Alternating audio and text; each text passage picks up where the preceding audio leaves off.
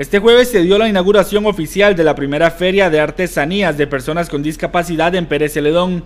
La feria se llevó a cabo en el parqueo del mercado municipal y contó con la participación de representantes municipales, también funcionarios del Consejo Nacional de Personas con Discapacidad y la Defensoría de los Habitantes, así como miembros de COOP y Superación. Creamos una comisión entre algunas instituciones, el ICE, Municipalidad de Pérez Celedón y la institución del CONAPTES, para darle un espacio a estas personas con algún grado de discapacidad. Para, esta es la primer feria, se llama primer feria de artesanos con algún grado de discapacidad.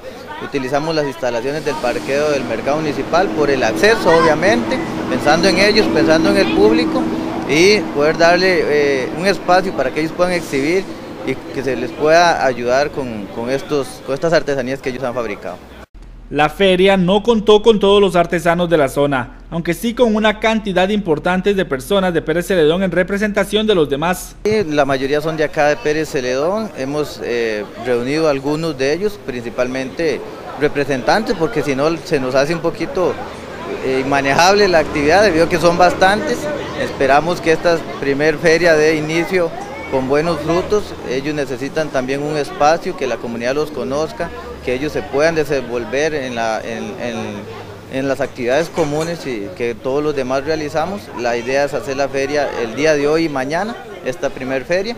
Acá en las instalaciones vamos a tener un baile típico, vamos a tener exposición, vamos a tener personal tanto del ICE como del CONAPDIS, así de la municipalidad participando. Entonces, invitarlos a todos que vengan acá, que se den una vueltita, que vean los productos, que vean todo lo que ellos fabrican y así poder colaborar. Por su parte, en CONAPDIS ven con buenos ojos este tipo de ferias que fomentan la inclusión de personas con discapacidad en la sociedad. Para el Consejo Nacional de Personas con Discapacidad este es una buena oportunidad de abrir puertas, de abrir una, una ventana para que vean el potencial que tiene la persona con discapacidad. Tenemos que hacer una sociedad más inclusiva, más participativa y se hace así, abriendo estas oportunidades de mostrar realmente el potencial, lo que hace, lo que hacen las personas con discapacidad. Formar parte de esta organización, obvio, eso es lo que estamos llamados a hacer. El Consejo Nacional de Personas con Discapacidad es un defensor de los derechos de la persona con discapacidad y el derecho, un derecho que tiene la persona con discapacidad es la inclusión, inclusión laboral que le permite potenciar otro derecho que tienen estas personas. Durante el acto inaugural hubo baile de parte de Raquel y Walter, quienes se encargaron de abrir esta primera feria de artesanía en Pérez Celedón. Es la linda que, vieras. Yo estoy, estoy aquí, he pecado, eh, soy compañero celoso. Entonces, son nosotros para... Ay, Dios mío. ¿Y va a bailar hoy? Sí, con el novio, nada más falta sonrisa.